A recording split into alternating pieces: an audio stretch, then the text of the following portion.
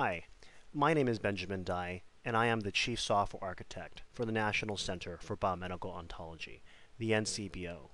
Our mission is to advance biology and medicine with tools and methodologies for the structured organization of knowledge. In this demonstration today, we'll focus on the NCBO BioPortal 2.0. The NCBO provides a portfolio of technologies and solutions that help us achieve our mission. BioPortal 2.0 enables users to browse biomedical ontologies. It is a repository of the majority of biomedical ontologies used by our community. Without such a solution, our end users would have to go to many different places to access their ontologies of interest using many different tools. The BioPortal provides a one-stop shop for all their biomedical ontology needs of uploading, sharing, downloading, and navigating ontologies. Open biomedical resources enables users to use ontologies to access public data and is presented through our BioPortal 2.0 interface. The remainder of our portfolio of technologies will be reviewed briefly at the end of this demonstration. This is the BioPortal homepage. And as you can see, there are 111 ontologies currently in the BioPortal. We have the ability to browse ontologies, uh, the ability to search our ontologies, and also to be able to do bulk uploading and downloading of mappings. If I click on the Browse tab here, this brings me to an alphabetically ordered list of ontologies. The ordering is done by the name of the ontology. Uh, we support a number of formats including OBO, OWL, RRF, uh, Protege format. Uh, we also display the latest version of the ontology uploaded. We also have the full history there. The author, of the person uploading it, as well as the date is also recorded. Now, as the user is perusing this list of ontologies, he or she can click on the Explore link, and, and that brings up a navigation view of their ontology of interest. In BioPortal, one can search for keywords within any ontology within our repository. So I can select any number of ontologies, or select only one ontology, in this case here, NCI thesaurus, uh, and do a search. So I'll do a search on the term melanoma, and when I click on search, as you would expect, I get the search results listed below.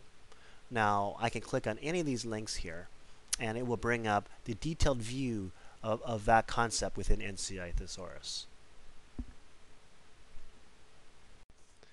This is a detailed view of a concept in BioPortal. As you can see, melanoma has been selected uh, in the NCI Thesaurus as displayed by this tab. Uh, there are all the, there's the metadata associated with the concept melanoma displayed below. There's also a tree on the left that shows one navigation view of where melanoma sits within the NCI thesaurus tree. So if I scroll to the top here, I see that there are a number of root concepts uh, that are in the NCI thesaurus, and, uh, and we can see where melanoma fits within that tree. Here is an alternate visualization view of the immediate neighborhood of melanoma. Um, as you can see here, there are, are two parents with the has subclass relationship to melanoma, and there are a number of children concepts, uh, again having the has subclass relationship. I can look at other layout views beside vertical layout. Here is a horizontal layout. I can peruse the uh, circle layout, uh, and in this view I can also look at a grid layout view. Now, uh, uh this grid layout view um, um, is ordered alphabetically. Uh, there are a number of other kinds of grid layout view. One thing to note is that what you see here is the immediate neighborhood of the concepts surrounding melanoma. But often, uh, ontologies are a lot more complex than simply one level of, of relationship. And so we provide an alternate full FlexViz view that allows you to do a deep exploration of your entire ontology. And that is accessible uh, through our uh, full version icon link on the top right corner as you see. So this is the uh, full version view. If I click on the full version button, uh, this launches uh, full FlexViz, which shows you the same neighborhood we saw before. Melanoma is in the center, but the key difference here is that the concepts of, of interest can be double-clicked and expanded out to see all other concepts related to that. So here, non-cutaneous melanoma has a number of children. Um, if I decide to click on lung melanoma, this expands it yet to another concept and another relationship.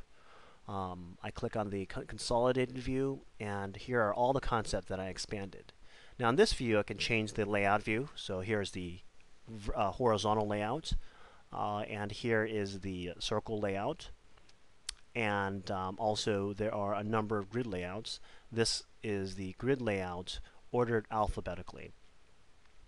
So now uh, a user using this tool really has a very rich user interface to explore uh, their ontology. An end user uh, using this tool would really get a better sense of where melanoma sits within the NCI thesaurus.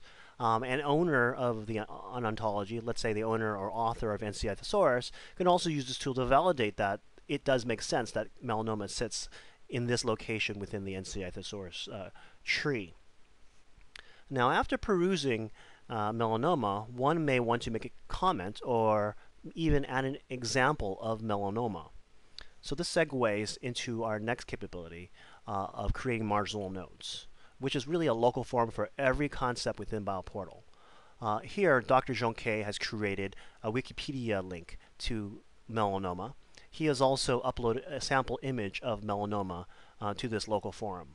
Uh, Dr. Rubin has added a nuclear medicine example uh, uh, describing melanoma.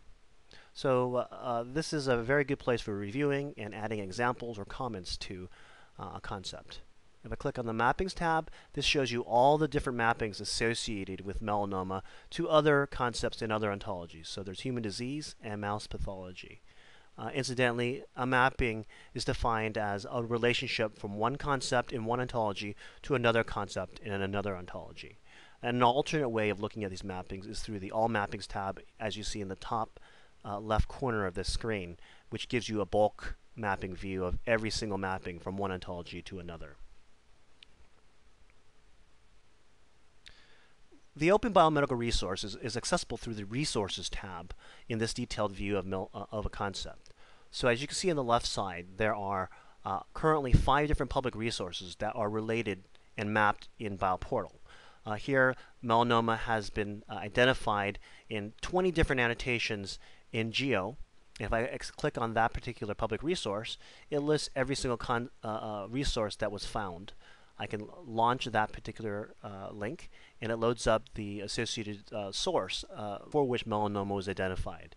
Um, either the term melanoma exists within that document, or uh, it's been inferred through the ontology, in this case the NCI thesaurus.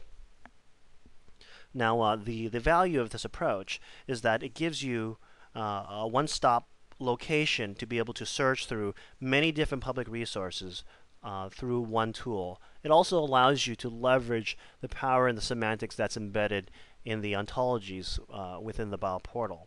So instead of going to five different places using five different search tools, you can go to one place uh, and then uh, do searches based on uh, the, the, the semantics that's embedded within our ontologies. So the NCBO portfolio uh, includes BioPortal 2.0 and Open Biomedical Resources. Uh, we also have the Open Biomedical Annotator, which allows you to use our ontologies to annotate your data. So for example, if I have any particular uh, abstract or free text that I want uh, the BioPortal to identify concepts within that, that free text, I can pass it to my annotator and it will identify the associated concepts that are found in that free text. Uh, we have the NCBO Fabric and REST services, which uh, it was really our service-oriented architecture infrastructure and, and, a set of reusable REST services that we are actively developing. This enables users to embed our services in your tools and also to embed our services or reuse our services in our tools. There's also the emerging user interface tools being developed by the University of Victoria, demonstrating innovations in visualization. Uh, so uh, there are a number of user interface tools and widgets above and beyond what you saw with FlexViz that we are actively engaged in developing and innovating uh, upon. And then finally, there is the NCBO PURL server. Uh, we will be announcing soon uh, a production release of our PURL server, which provides uh, persistent URLs for our end user community. in particular, it provides URIs for biomedical concepts. So this wraps up our NCBO BioPortal 2.0 presentation. My name is Benjamin Dai. You can reach me at benjamin.dai at stanford.edu. Uh, please feel free to peruse our BioPortal 2.0 site, uh, which is reachable at bioportal.bioontology.org. Uh, and also, you can learn more about the NCBO at www.bioontology.org. I appreciate your making the time, and I look forward to hearing from you. Thank you.